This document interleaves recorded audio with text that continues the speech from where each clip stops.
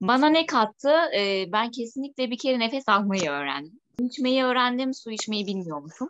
Beslenmeme kesinlikle bir katkısı oldu. Çok daha farklı beslenmeye başladım. Son yaptığımız çalışmada mesela e, şunu fark ettim ki kendi kendime baş ağrımı geçirebiliyorum. Bu kesinlikle çok faydası oldu. Çok baş ağrısı çeken bir insanım çünkü. E, uykum düzene girdi. Uykum, uyku çok güzel uyuyorum şu anda. Gerçekten uyuyamıyordum. Düşünce tarzım da değişti. Daha farklı davranıyorum artık insanlara karşı. Ön yargılı olmamaya çalışıyorum. Güzel şeyler kattınız hayatımıza. Teşekkür ederim. Senelerden beri huzursuz uyku sendromu vardı hocam. Muhtemelen travmalardan kaynaklanıyordu. Biraz rahat uykuya geçebiliyorum. Ya da uykuya daldığım zaman biraz daha derin uyuyabildiğimi anladım. Bir senedir sağ taraftaki burnum tıkalıydı. O açıldı. Ee, pek çok şey öğrendim. Aynı zamanda RDT'li almaya kalkıştım. Yani alıyorum. Ee, çok ağır travmalarım var. Ve bu RDT'li esnasında e, ailemden kaynaklanan sorun yani hemen hemen bütün aileme karşı öfkem ve kinim vardı. Çünkü travmalarım olduğu için öfkem ve kinimin azaldığını gördüm açıkçası. Daha e, farklı düşünmeye başladım yani burada sizi dinley dinleyerekten. O iki gün sonunda benim çok değişmelerim oldu. Enerjimin yükseldiğini fark ettim. Göz altlarım benim çocukluğumdan beri mi oldu? Onların birdenbire geçtiğini fark ettim. Nefesini, kendisini dengelemek istiyorsa gerçekten bu yola girmeli. Gelince benim işim çok stresli olduğu için e, ben nefes almayı da unutmuşum. Kendimi de unutmuşum öyle diyeyim. Şimdi fark ediyorum. Bedende incelme olduğunu bile fark edebiliyorsunuz. Kendinizi gözlemlemeyi öğreniyorsunuz. Anlamda çok sıkıntılar yaşayan bir insanım. Çok agresif, işte aşırı derecede terleyen, her şeye böyle cuk diye atlayan, ateşe hiç sıkıntı yaşamadan, düşünmeden atlayan bir insanım. Etrafımda gördüğüm olaylara karşı da. Bu beni her zaman için doğru olsa da beni çok rahatsız ediyordu ve ardından çok ciddi anlamda tepkiler alan bir insandım. Doğru nefes alıyordum ama burada daha farklı şeyleri öğrendim. Çok iyi bir anlamda bir insanım. Ama burada e, yine onun farklılıklarını öğrendim. Soğuk suyu normalde içerim ama şu anda çok daha fazlasıyla soğuk suyu çok rahat bir şekilde içmeye başladım. Evet sol burnumdan nefes almak sıkıntım var. Hep tıkanır. Ondan sonra nefes alabiliyorum. Konuşmam konusunda biraz sakin konuşmam konusunda e, eleştiriler alırım veya işte tavsiyeler alırım. Dün bir arkadaşımla konuşuyordum. Sana bir sakinlik gelmiş dedi. Konuşman bile değişmiş dedi. Sakin konuşuyorsun dedi. O beni çok mutlu etti. Benim hayatımda neler değişti? Şöyle kahve içme alışkanlığım, yani filtre kahveye döndüm. Ee, çorba kültürüm asla yoktu. Çorba içiyorum her sabah. Ee, sindirimimde bir değişiklik olduğunu farkındayım. Aynı zamanda bir koa hastasıyım. Ee, o yüzden çok teşekkür ederim. Çok zorlanıyorum açıkçası e, nefes tekniklerinde. Fakat yapmaya devam ediyorum. E, bugün nefes koçuyum aslında. Bir sürü eğitimim var. Fakat hiç kimse nefesi bu şekilde anlatmamıştı bugüne kadar. Ben bundan çok memnun kaldım. Yani sebeplerini araştırmayı seviyorum çünkü bir şeyleri. E, bu konuda çok iyisiniz. Çok takdir ediyorum. Çok teşekkür ediyorum uykum düzene girdi. Zaten hani düzenli uyan bir insanım ama istediğim saatte kalkamıyordum. Şimdi kafamda planladığım saatte kalkabiliyorum. Dört buçuk dersem dört buçuk, altı dersem altıda gözümü açabiliyorum. Bu mükemmel bir şey gerçekten. Ee, kısmi yani bel incelmesini gerçekten çok ilk 10 günde ben hissettim. Su içmeyi hep e, önemsiyordum ama hep farklı bilgiler vardı su içme hakkında. Yani yemekten önce ve sonra kısmını biliyordum ama şu yatma kısmıyla ilgili hep kafamda yata, yatarken içmek, kalkarken içmek kısmında farklı şeyler vardı. Artık onlar düzene oturdu. Çok rahat kalktığımda suyumu içebiliyorum.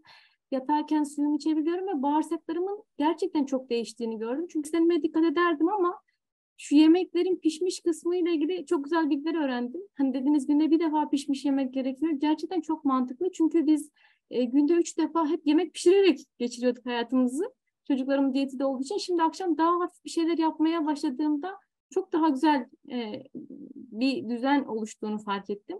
Hani yemek kısmıyla ilgili çok güzel şeyler öğrendim sizden. Dair çok güzel.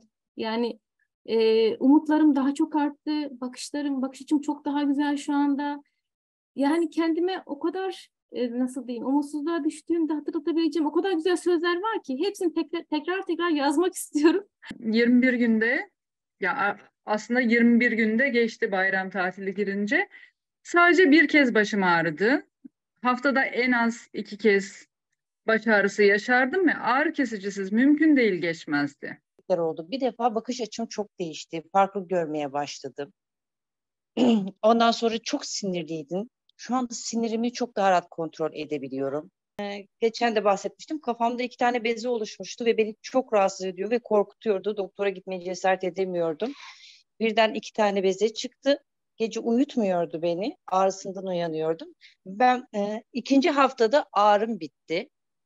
Şu anda beze de yok. Bağırsak sistemim de yavaş yavaş normale girdiğini artık farkına varıyorum. Bir de hocam benim migren ataklarım oluyordu. Yaklaşık derslerimizin başladığı ikinci haftadan beridir ben hiç migren krizi de yaşamadım. Arada evet. hafif baş ağrılarım oluyor ama hemen dediğiniz gibi bir nefes çalışması yapıyorum. Ve nefesler de bana yani çok şey kattı. Hayata bakış açım değişti. Buradaki arkadaşların da söylediği gibi. Yani uykularım düzenli oldu. Daha e, çok sinirli bir insanım. Daha sakinleştim. Yani artık şu kafadayım. Ha, hallederiz ya olur kafasındayım. Ee, gerçekten nefes almayı bilmiyormuşum. Bütün hücrelerimin hala yürürken bile oksijenlendiğini hissediyorum. İnşallah. Ve e, bugün fark ettiğim bir şey var. E, ayağımda bir kapsül kistim vardı. İki senedir tedavi görüyorum. O çok küçülmüş. Harikaydı. Ve e, ben eminim ki bir vücudundaki birçok hücre de düzene girdi. Allah razı olsun. Harikaydı. Gördükten sonra RDT aldım Fatma Gül hocamdan. Ee, pazar günüydü RDT'yi aldığımda ve pazartesi günü iki aydır beklediğim iş haberi geldi. Hocam ben nefes almıyormuşum yani bu zamana kadar. Hiç hiç nefes almıyormuşum. Ağzım kapalı uyanınca ağzımın kapalı olduğunu hissetmek o kadar mutluluk verdi ki bana hiç anlatamam yani. Ben astım hastasıyım yazmıştım. Alerjik astımım var. Geniz akıntım aşırı derecede yoğun. Yani yıllardır nefes alamıyorum zaten. Burun spreyidir, işte mentollerdir, her türlü şeyleri kullandım. Ama bu bir size başlamadan bir ay öncesinden bir burun spreyine başlamıştım. Dedim ki ilk başlarda herhalde bu onun etkisi. Yani psikolojik inanarak yapıyorum. Hakikaten de. Ama yani uyanınca o kadar mutlu oluyorum ki ağzım kapalı olduğunu ve o ağzımdaki o acı, pis hissi hissetmediğimi. Nefes çalışmalarınıza katılmadan önce ben e, şey soğuk algınlığı almıştım. İzmir'de yaşıyorum. Tabii Haziran ayında burada bir bayağı serindi. Sonra bir iki hafta geçmedi. Soğuk algınlığı geçti ama öksürük kaldı. Burun şişmiş. Birkaç gün katılmıştım nefes çalışmalarınıza. Tekrar doktora gittim. Tomografi falan çekildi. İntihap kalmış dedi. Antibiyotik yazacağım. Zaten siz de diyordunuz hani bronşit falan açar nefesi. Ben dedim almayacağım, ilacı almayacağım dedim. Devam edeceğim. Birkaç gün sonra yani bir hafta katılmıştım nefes çalışmalarınıza. Geçti hocam böyle. Ben de çok şok oldum çünkü o kalıcı oluyordu. Bayağı bir ay falan sürüyordu önceden. Yani o şeyim oldu benim. E, mucizem. Artı e, ilk başlarda uzun süreleri tutamıyordum nefesleri. Şu an tutabiliyorum. E, bir de kilo vermeye başladım. Ayrıca da kilo sorunum var biraz. 4-5 kilo vermişim. Büyük ihtimalle yememde değişiklik yok. Nefes çalışmalarıyla alakalı. Tansiyon ilacı kullanıyordum, onu bıraktım. 4-5 senedir kesintisiz ama mide koruyucu kullanıyordum, onu bıraktım. Sonra uykularım çok kaliteli oldu. Yani hayatım o kadar değişti ki size çok teşekkür ediyorum. Önceden de söylemişim vardı. Çok uzun süredir diz ağrılarım vardı. Onlar geçti. Baş ağrılarım vardı. Sinüzitte de çok az rüzgar falan görsem baş felaket oluyordu. O da geçti. E, astım teşhisi koyulmuştu. Nefesimi zor alıyordum. İlk başta tutmaları yapamıyordum ama şu anda çok iyiyim Allah'a şükür. Ee, şöyle söyleyeyim, bağ kesimler falan sizin yaptırdığınız özel çalışmalar çok iyi geldi bana. Aşırı rahatladım çünkü ben aylardır terapi alan birisiyim ama o terapilerdeki sonucu alamıyordum yani sizden aldığım kadar. Bir de dolaşım bağırsaklardaki şeye de iyi geldi sorunlara.